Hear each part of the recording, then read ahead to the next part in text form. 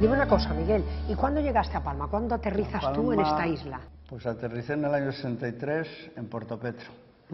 ¿Y qué tal? ¿Cómo viviste ese Muy cambio? divino porque era un pueblo de pescadores, había tres familias y un cuartel de la Guardia Civil de solteros. Y enseguida viniste ya aquí al club porque te veo en un montón de fotografías. Cuéntame, no. cuéntame un poco estas fotografías, club- por ejemplo, ¿de dónde nos vienen? Yo vine a la Ciudad Jardín en el año 90 y ya después empecé a ir de excursiones cuando podía, muy poquitas. Ajá. Empezabas a participar en el club en las excursiones, Sí, ¿no? porque mi suegra me anotaba. Ah, Dime una cosa, ¿y después qué hacías? Después, porque ahora yo sé que estás en la junta directiva, según me comentabas. Mm, sí, ¿Quién fue que te invitó a entrar en la junta directiva del el club? domingo el presidente actual.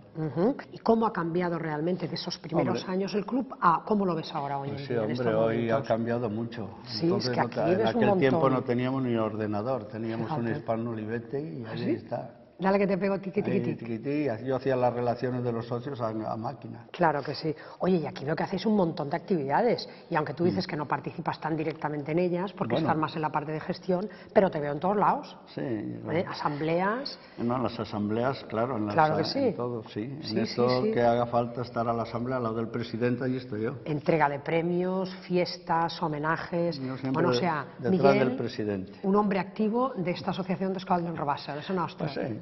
Muy bien, Miguel, pues enhorabuena. Pues muchas gracias.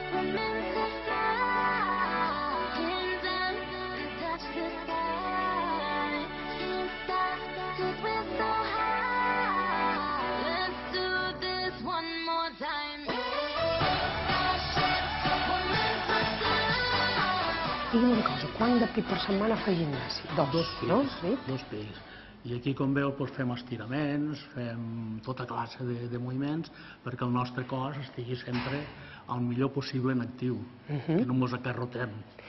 M'he fixat, a més, que teniu música, sou molt animats, la gent s'ho passa bé, no? Pues sí, la gent se ho passa molt bé aquí, perquè, claro, eh, no se fa una gimnàsia allò sorda, una gimnàsia d'això.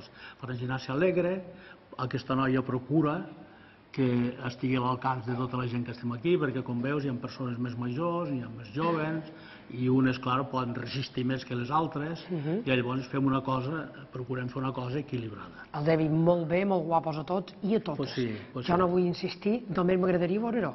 Bueno, doncs mirem-ho, si et Vinga, sembla. llevant i que comenci. Vinga, eh? Vinga, que vinga. comenci.